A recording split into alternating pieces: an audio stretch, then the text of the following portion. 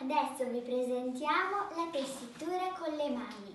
Per farlo vi serve un elastico e due